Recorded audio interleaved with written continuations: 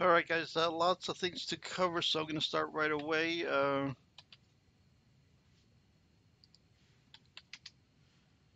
so this is uh, my old uh, sprite editor. Um, this is an original compiled version, basically uh, 30 years ago, and uh, I've, I've had the source for this, but I was missing a few files, so I didn't release it as open source. But what I did do was uh, I started a Windows version based on all the source code I did have, which is also available as open source. So I took what I had and built the Windows version. The Windows version is the uh, most up to date, has the most features. So if you want to check that out, uh, it's on GitHub. I'll, I'll put a link in the description. But this is the original, and uh, one of the things that was uh, wrong with it uh, when I checked recently is in the 256 color mode, you get things like this. Um, so I didn't think I would be able to fix this because I didn't have all the uh, source files. Uh, but after I did a, a, recent video, somebody asked about the source code, and I looked at the source code again, and uh, I wasn't missing all that many files that I needed. So I was able to reconstruct uh, the missing files. And um, let's just take a look at the, uh, the new version. So 16 color mode has always worked. Um, but if we switch to the 256 color mode, let's uh, let's take a look. It looks like everything's been fixed.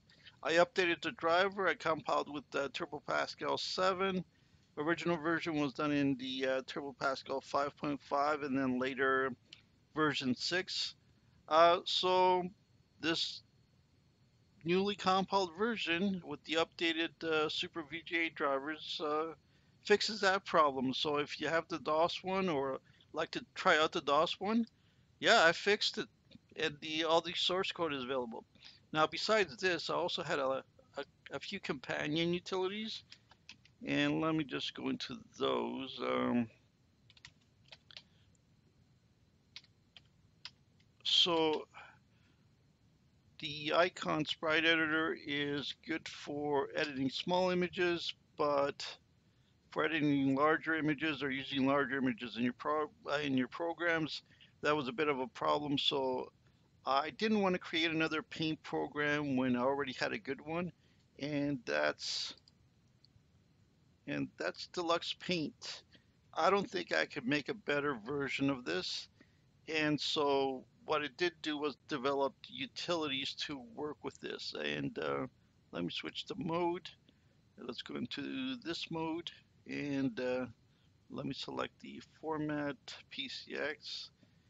And uh, if we select, I have previously saved that as test PCX in the current folder. Let's see if it brings it up. There we go. So exact same image. What I can do with it now is I can clip it and uh, I can copy it and uh, I can save it. Uh, so I can save it using the same uh, formats as the icon editor plus a few more. And so let's choose the uh, Turbo Pascal version. So just like you did in RasterMaster, you can do it here as well. So uh, it's a little tricky with the um, saving. You have to right click to select the format, but normal click uh, to save the file. So test XGF and it's saved.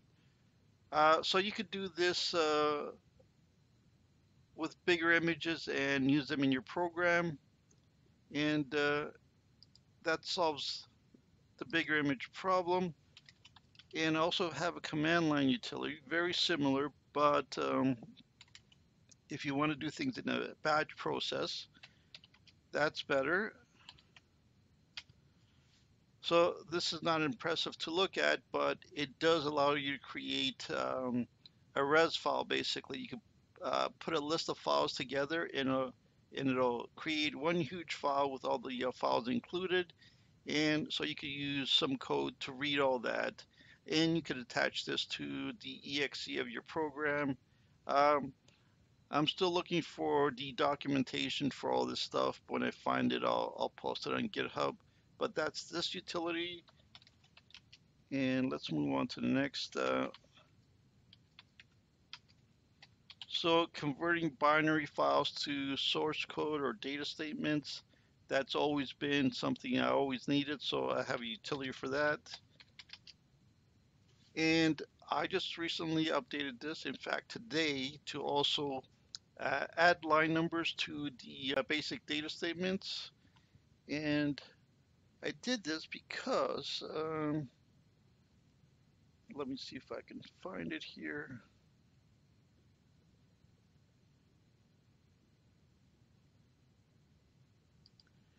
Here we go. So I wrote a little uh, GW Basic uh, mouse library recently, and I had to constantly convert com file to data statements and uh, read it in and test, and that just took too long because I had to manually assign the line numbers. Anyway, uh, so that's why I decided to add the line number option. But then I also thought uh, I could just BLOAD the file into the array except I didn't have a utility for that. So I wrote one. And so now we have a bin to BSAVE format. Uh, so this just takes any binary file, including a com file, and converts it to a be saved. And I'm using it in this right now, so we know that it actually works. So let's do list 500 to 700 and it's right here. So the same code that I would create data statements with, I could just be loaded into this array. Uh, so normally I would uh, read the items and then I assign them to this uh, array, but now I could just straight from this load them. So this is good for testing. And then when you're finally done with your testing, you can convert them to data statements. That way you don't have a separate file, but they all they all kind of work together. And so that's it. So everything's open source now, including the uh, DOS versions, and all the code is available, and even new utilities. So I think that's all I have to say for today. So thanks for watching.